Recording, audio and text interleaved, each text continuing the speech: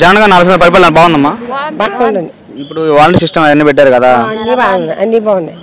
సంక్షేమ పథకాలు? ఆ, అన్నీ. అన్నీ అందినాయి అమ్మా? అన్నీ అందాయి ఇప్పుడు రాష్ట్రం అభివృద్ధి చెందిందా? ఆ. చెందిందా? ఏడ అసలు చెందిందా లేదంటున్నారు కదా ప్రతిపక్షం. వాళ్ళు. కొంతమందికి శివ అందలేదేమో బాబు మరి. అరవై సంవత్సరాల వాళ్ళకి లేదని బాధపడుతున్నారు. అరవై సంవత్సరాల వాళ్ళకి ఇస్తలేదు మరి పద్దెనిమిది సంవత్సరాలు ఇస్తున్నారు డబ్బులు అండి మరి. ఒక ఇంట్లోనే మరి ఇద్దరు ముగ్గురు ఇస్తున్నారు. మరి మాకు రావట్లేదు మరి డబ్బులు. అరవై సంవత్సరాలు రావట్లేదు మరి.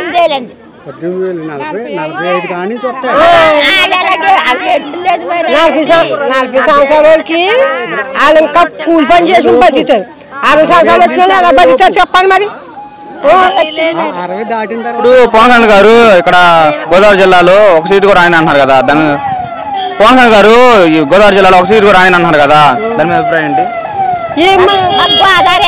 మాకు కానీ మాకు బాగానే చేస్తాడు సబ్కారం సబ్కారం బాగా అగ్ని కుల చేస్తున్నాడు సబ్కారం కానీ అరవై సంవత్సరాల డబ్బులు రావట్లేదు. సంవత్సరాలు ఎలా ఆ పింఛను కూడా లేదు. ఎలా బతుకుతారు వాళ్ళు కూలి పని చేసి బతికారా? వాళ్ళు ఎలా ఇంకా పద్దెనిమిది సంవత్సరాలు వచ్చిన వాళ్ళు కూలి పనికి వెళ్ళి బతుకుతారు వాళ్ళు. అరవై సంవత్సరాల వాళ్ళు ఎలా బతుకుతారు చెప్పండి మరి.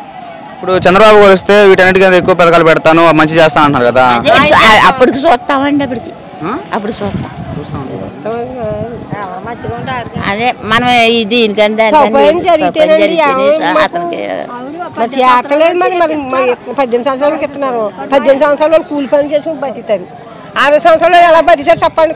వెళ్ళి చేసుకోమా కర్రలు వేసుకోండి. ఇప్పుడు ఇది ఆయన ఈసారి వచ్చే ఎన్నికల్లో ఎవరు గెలుస్తారు అనుకుంటారమ్మా ఈసారి వచ్చే ఎన్నికల్లో ఎలక్షన్లు ఎవరు వస్తారు అనుకుంటున్నారు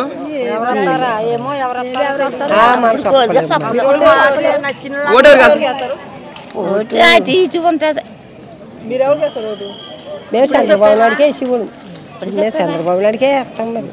వేసి వాళ్ళం మరి అప్పుడు ఇప్పుడు మారే పోయి జనం అందరం. అమ్మా తీసుకుండి పైకి వెళ్తా.